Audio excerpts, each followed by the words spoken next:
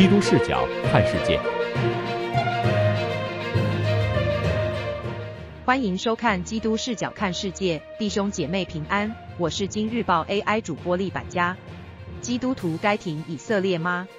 谈及以哈冲突，基督徒除了积极呼吁停战代祷、祈求和平以外，不可讳言的是，主内肢体之间也存在不同看法及言论，或是有人选边站。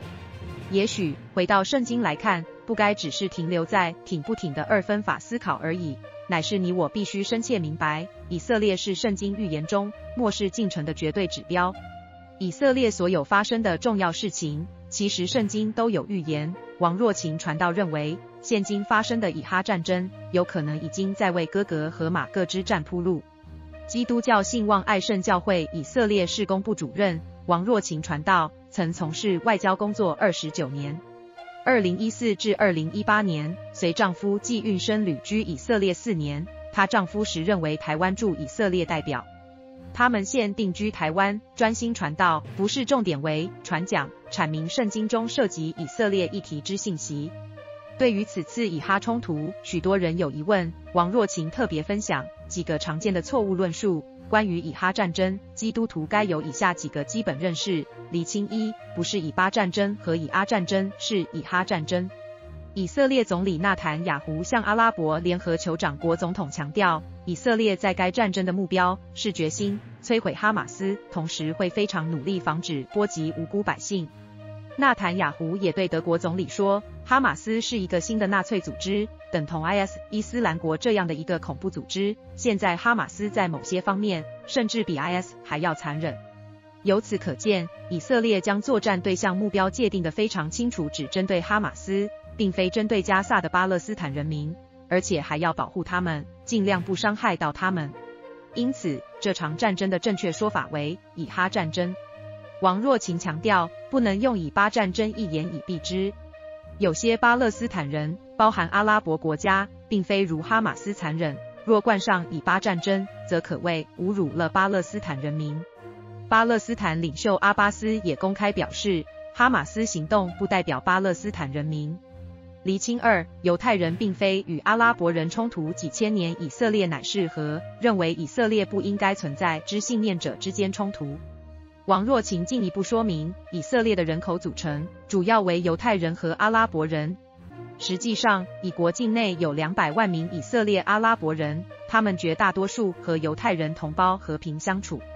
二零二零年初，川普方案曾提议将几个以色列阿拉伯人社区划入巴勒斯坦国，但遭居民强烈反对。这代表他们想继续做以色列阿拉伯人，所以大家不要误会。实际上，犹太人和阿拉伯人之间是有和平的。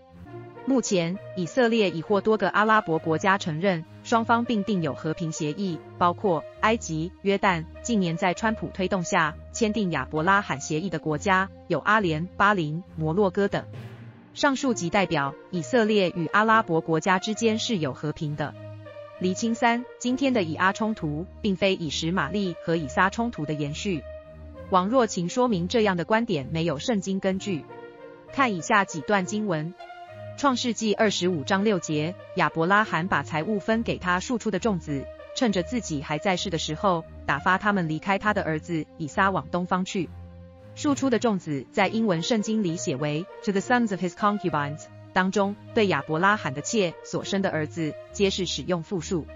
希伯来原文也是复数，即代表妾所生的儿子们当中包含以实玛利。